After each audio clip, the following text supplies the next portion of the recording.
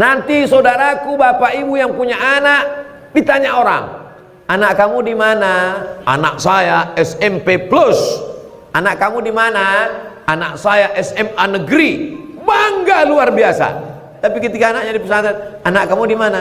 Ya, coba-coba dulu di pesantren. Kenapa tidak pede dengan anak di pesantren? Sekarang saya tanya, lebih hebat anak SMA atau anak pesantren? Tengok anaknya dulu.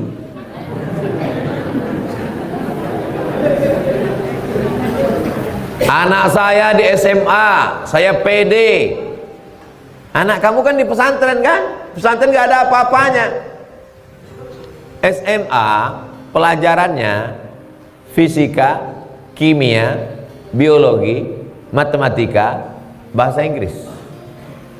Pesantren nahu, sorof, balaghah, ma'ani, bayan, mantik, fikih, usul fikih, qawaidul fikih, hadis, mustalah hadis, rijalul hadis, mukhtaliful hadis, arud qawafi, tajwid, tafsir, ulumul Quran, akhlak, ditambah lagi hafalan Quran 10 juz.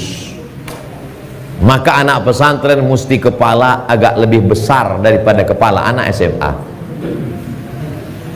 Jadi jangan katakan ini anak saya yang pintar, saya masukkan ke SMA. Ini anak saya yang smart, yang cerdas, saya masuk ke SMA. Anak saya yang agak-agak bodoh, saya masukkan ke pesantren. Cara berpikirmu salah, guys.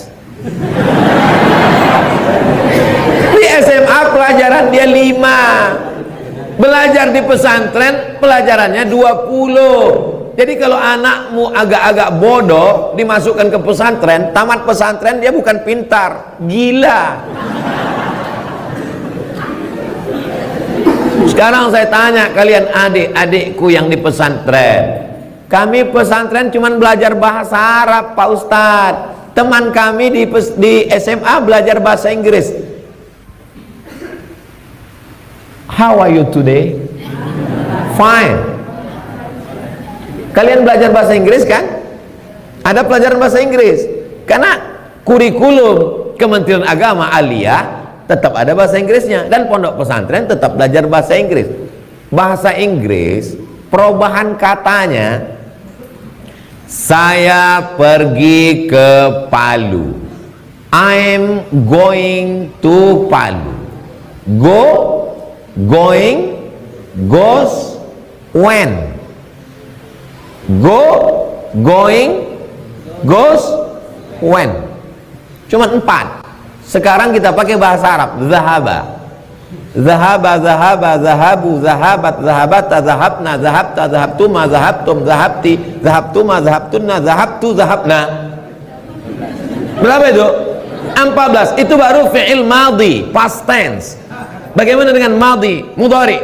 Yadhabu, yadhabani, yadhabuna, tadhabu, tadhabani, yadhabna, tadhabu, tadhabani, tadhabuna, tadhabina, tadhabuna, tadhabani, tadhabna, azhabu nazhabu. Sudah berapa? 28 14 tambah 14 28 sekarang masuk fil amar. Izhab izhaba izhabu izhabi izhaba izhabna. Itu baru tasrif fi'il. Belum lagi zahaba yazhabu zihaban zahibun madhubun izhab la tazhab. Apa tak error dia Lalu kalian bilang bahasa Inggris lebih hebat daripada bahasa Arab. Akal kalian ke mana, Beb? Arab. Non mati ketemu dengan qab min qablikum. Non mati ketemu dengan waw min wara'i. Non mati ketemu dengan dal min dunillah itu tidak ada dalam bahasa Inggris. Ada dalam bahasa Inggris nun mati ketemu dengan ta. Student.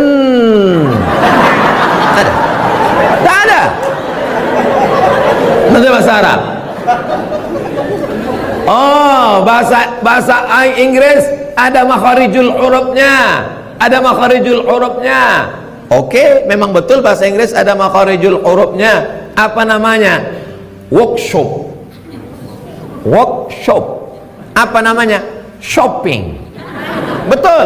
S dengan H itu berarti shopping. Ada kalanya T dengan H itu dibaca tha health. How about your health? Bagaimana kesehatanmu? Tapi dalam bahasa Arab bukan cuma sya bukan cuma tha tapi ada a ada ba ada qa ada pa ada ba dalam bahasa Inggris? Tidak ada. Ada a I love you. Tidak coba berpikir afala ta'qilun? Afala tatafakkarun? Afala tatazakkarun? Makanya kamus bahasa Inggris. Kamus bahasa Indonesia tapi kamus bahasa Arab Ibnu Manzur Lisanul Arab. Tebal. Ibil onta. Naqah onta. Naam. Juga masuk dalam onta. Banyak sekali satu kata. Mudarris muallim muaddib ustaz muhadzib. Guru semuanya. Tapi kita cuma guru teacher. Nah ini semua kelebihan-kelebihan itu nanti akan adik-adik pelajaran pelajari di pesantren.